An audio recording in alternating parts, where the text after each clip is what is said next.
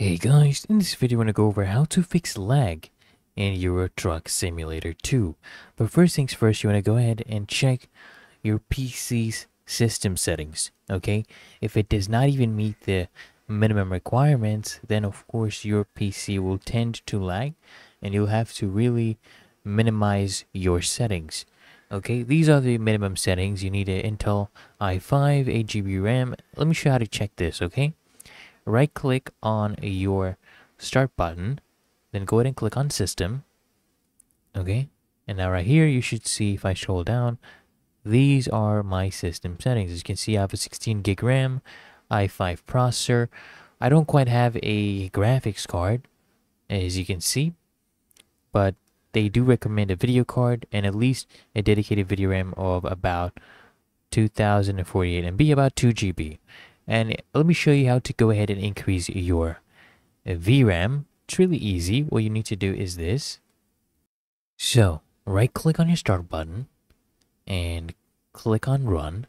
Then you just want to type this in, okay? sysdm.cpl. Press OK.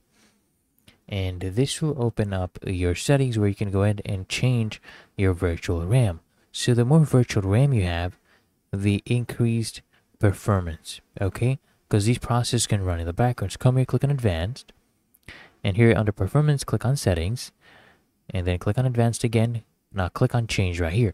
You want to make sure your RAM is a minimum of 1.5 times your, you know, PC's RAM.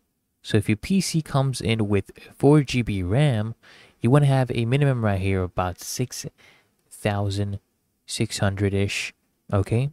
And then maximum size you want to have about three times your RAM. So for a 4 GB RAM PC you can put it up to 12 GB RAM right here and that will take from your storage space. And what you can also do is you can right click on your start button again click on task manager and what you want to basically do now is make sure you close all the unnecessary apps that you're not using that is consuming a lot of your CPU, okay, go ahead and close those. For example, just click onto this one. Just click on end task. Anything that is consuming a lot of your RAM, a lot of your CPU, go ahead and close those. What you can also do is you can upgrade your uh, graphics drivers. So go ahead and update them like this. Right click on the start menu. And then you basically want to go ahead and click on a device manager. Right? Now let's this open up. I'm going to show you exactly what you need to do. So we're going to be updating our display, you know, graphic drivers from the display adapters category. So right here, I have display adapters. I'm going to click on this arrow. And here I see my graphics card. Right click, click on an update driver.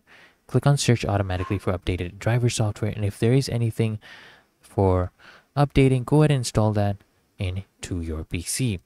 And last but not least, what you can do, of course, is right click on your Steam, okay, and always run your game as an administrator.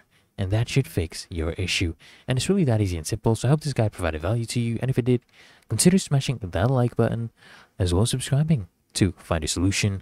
And I'll see you guys in the next one.